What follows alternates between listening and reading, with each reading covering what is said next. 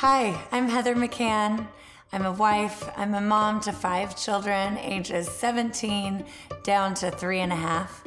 I run Valley Sweat Life, which helps promote health and fitness in the Central Valley. And I also teach fitness classes here in town.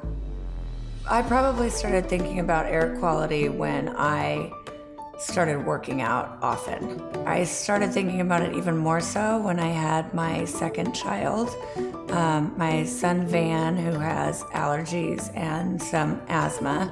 If I'm taking my kids outside to play, I want to make sure that um, they're healthy and that they're happy and that it's a good experience all around for everybody.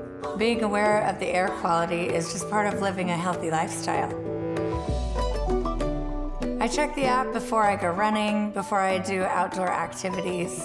It's easy and accessible. It's real time, so you can find out right now what the air quality is like. Then you can better control your lifestyle. We are the McCanns, and we live a healthy air life.